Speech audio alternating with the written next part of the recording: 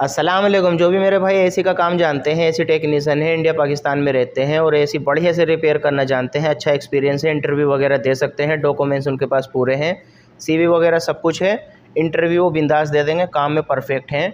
Saudi अरब आ जाओ, बढ़िया पैसा कमाऊँगा भाई। तमीमी कंपनी में मैं काम करता हूँ, बढ़िया कंपनी है। बारह बेसिक अगर आपकी लगेगी, चौबीस आएगी, चौदह लग गई तो अट्ठाईस यानी डबल आएगी। सोलह सौ लगी तो बत्तीस सौ खाना पीना फ्री है। सारा कुछ सिस्टम बढ़िया है कंपनी का। एकामा टाइम से, छुट्टी टाइम से आपकी सैलरी बढ़ने का भी चांस होता है जब कॉन्ट्रैक्ट पूरा हो जाता है।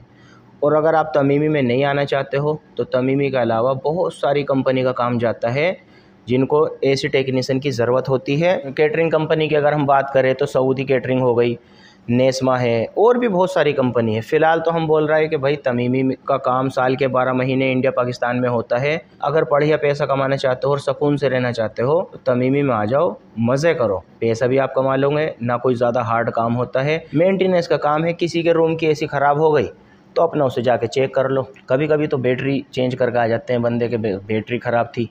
कभी गेंज डाल दिया मतलब वो तो पता ही होता है ऐसे टेक्नीसन का क्या काम है, उसमें कुछ भी हो सकता है। ज़्यादा बड़े ख़राबी है, ज़्यादा कमी है तो एसी चेंज कर दी जाती है, बस नया एसी लगा दो उधर।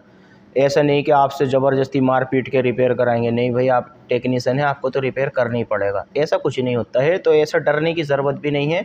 बहुत से लोग डराने वाली बातें करते हैं। भाई, उधर आप रहोगे इंडिया पाकिस्तान में सीज़न का हिसाब होता है। गर्मी आ गई तो आपका काम बढ़िया चलेगा। तो गर्मी में आप कितना पैसा कमा लोगे? ज़्यादा तो नहीं कमा पाओगे। फिर सर्दी में आप क्या करोगे? इधर सऊदी अरब आ जाओगे, साल के बारह महीने आप, जितना सैलरी है आपका, साल के बारह महीने आपको मिलेगा। बेसिक सैलरी तो आरा मशीन पे भी नहीं कटता भाई। ओवर टाइम का यह है कि एक दो दिन, दो चार दिन आगे पीछे हो जाता है, जैसे साइड बंद हो गई साइड चेंज हो गई, कोई मसला हो गया, उस बीच में आपका ओवर टाइम जो है नहीं मिलेगा और अच्छी कंपनी तो ऐसी नौबत ही नहीं आने देती है कंटिन्यू आपका ओवर टाइम चलता है।